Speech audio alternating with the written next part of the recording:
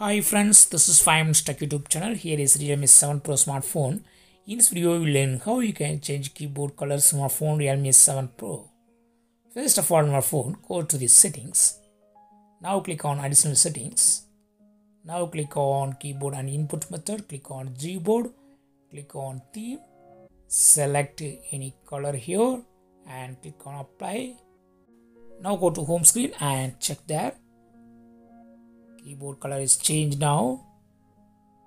And go to settings click on additional settings click on keyboard and input method click on gboard click on theme and you can choose any other theme now. I have selected a blue color now. Here you have a variety of colors. You can select click this plus symbol to add your own custom theme. Just you can select any photo.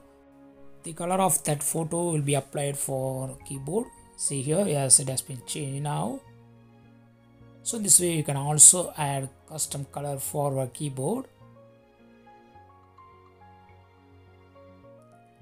And go to settings click on additional settings click on keyboard and input method click on gboard click on theme and you can select default theme here